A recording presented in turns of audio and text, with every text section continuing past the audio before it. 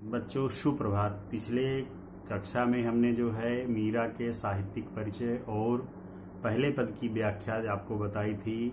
आज हम जो है मीरा के दूसरे पद के बारे में चर्चा करेंगे और मीरा का जो दूसरा पद है, उसकी जो पंक्तियाँ हैं शुरुआत की, देखिए, श्याम मारो, मानो चाकर राखो जी, गिरधारी लाला मानो चाकर राखो जी। अर्थात मीरा जो है कह रही हैं कि श्याम श्याम श्री कृष्ण के लिए और गिरधारी लाला श्री कृष्ण के लिए शब्द प्रयोग किए गए हैं और मीरा कह रही हैं कि हे श्री कृष्ण हे श्याम, मुझे जो है अपना नौकर बना लीजिए, चाकर बना लीजिए, सेविका बना करके अपने पास रख लीजिए। चाकर बनास्यु यहाँ गड़बड़ा रहा। चाकर रहस्यु बा चाकर रहस्यु बाग लगास्यु, निस्दिन दर्शन पास्यु बिंद्रावन की री कुंज गली में गोविंद लीला गास्यु। अर्थात मीरा ये कह रही हैं कि मैं आपकी सेविका बन करके बाग लगाऊँगी, दर्शन करूँगी और नित्य प्रति आपके दर्शन प्राप्त करूँगी और वृंदावन की कुंज गलियों में रह करके मैं गोविंद की, अर्थात श्री कृष्ण की, आपकी लीला का गुणगान करूँगी।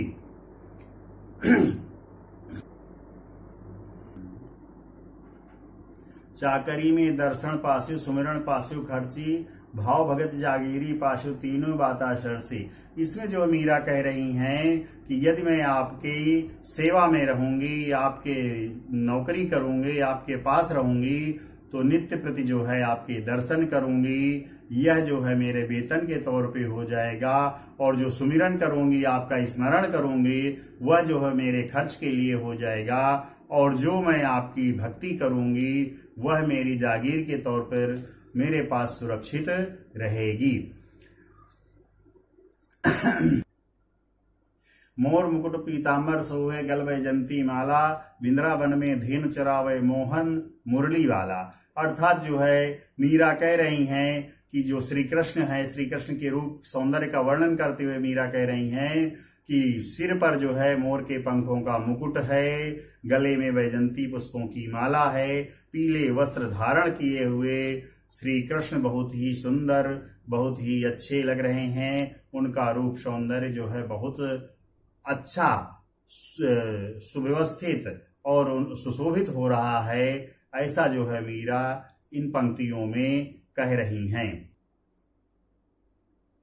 ऊँचा ऊँचा महल बनाऊँ, बिच बिच राखों बारी सामरिया रे दर्शन पाऊँ, पहल कुसुम्भी सारी। और मीरा जी कह रही हैं कि मैं जब तो आपकी सेविका रहूँगी तो ऊँचे ऊँचे बड़े बड़े महल बनाऊँगी। उनके बीच बीच में जो है आपके दर्शन के लिए, आपके दर्शन पाने के लिए झरोखा या खिड़की रखूँगी। और मैं आपके दर्शन पाने के लिए जो है केसरिया रंग की साड़ी पहन करके जो है आपके सामने जो है आऊँगी। आधी रात प्रभु दर्शन जी जो जमुना जी के जमुना जीरे तीरा मीरा रे प्रभु गिरधर नागर हिवड़ा धरो अधीरा। यहाँ पे जो है मीरा कह रही हैं कि, हे श्री कृष्ण तुम मुझे आधी रात को यमुना नदी के किनारे अपने दर्शन देना, क्योंकि मैं, मीरा जो है कह रही हैं कि मैं आपके दर्शनों के लिए बहुत जो है ज़्यादा अधीर हो रही हूँ। अर्थात बच्चों इस पूरी पंक्ति में देखिए कि मीरा जो है श्री कृष्ण से कह रही हैं श्री कृष्ण से अनुनय विनय कर रही हैं कि हे प्रभु मुझे आप अपना जो है नौकर बना करके रख लीजिए दासी या, या सेविका बना लीजिए। सेविका बन करके मैं जो है आपकी सेवा करूँगी।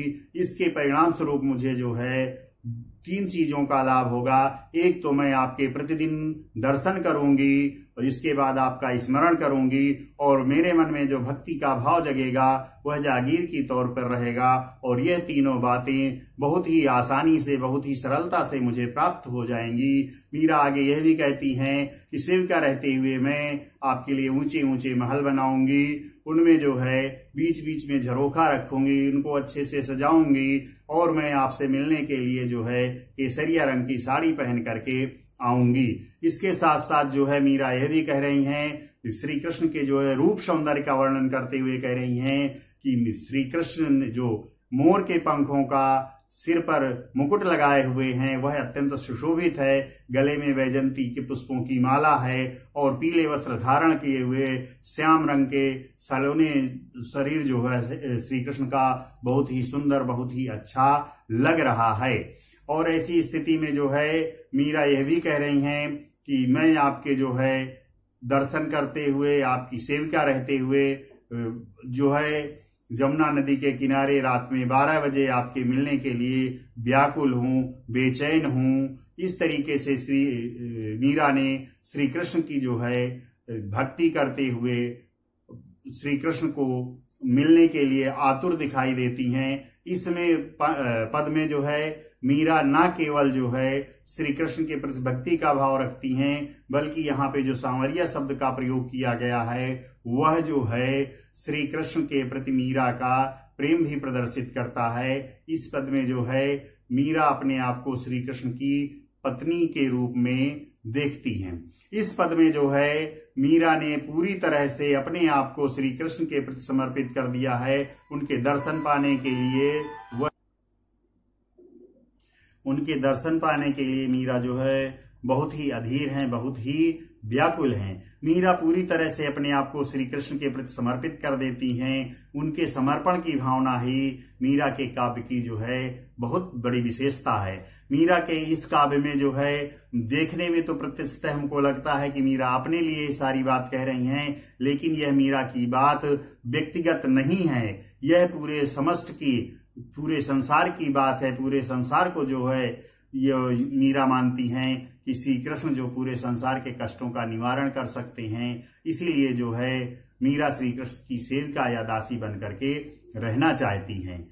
इनकी जो भाषा है, राजस्थानी और पंजाबी, गुजराती, खड़ी बोली मिली हुई है, इनके पद जो है, सभी भाषाओं में मिलते हैं। मीरा जी के लगभग जो है 200 फुटकर पद हैं और इसके अलावा इनके जो प्रमुख रचनाएँ हैं,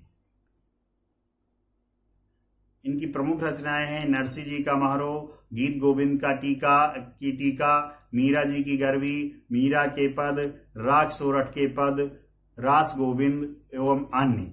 यह जो है इनकी प्रमुख रचनाएँ हैं और जिनमें से सबसे प्रमुख और सबसे ज़्यादा जाने माने मीरा के पद हैं। इन सब के अलावा जो है, मीरा पौराणिक आख्यानों के आधार पर, जैसा कि हमने आपको पिछली कक्षा में, पिछले पद में बताया है कि मीरा भगवान को ही अपना पूरा सर्वस्व मानती हैं, सब कुछ मानती हैं, और भगवान के अलावा वो किसी अन्य से किसी प्रकार की प्रार्थना, किसी प्रकार के अन्य बिना, किसी प्रकार के जो है, आशा या अपेक्षा नहीं करती हैं।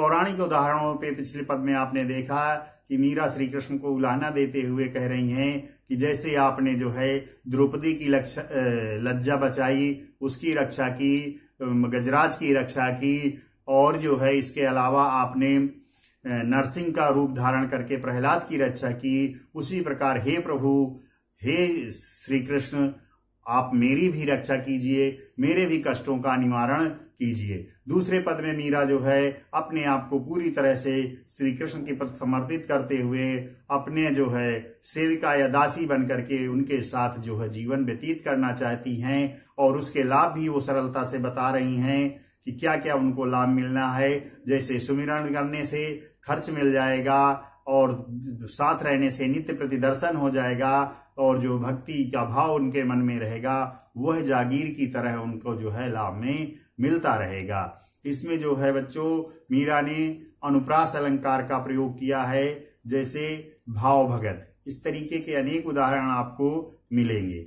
बच्चों जो है, इस वीडियो में फ़िलहाल इतना ही।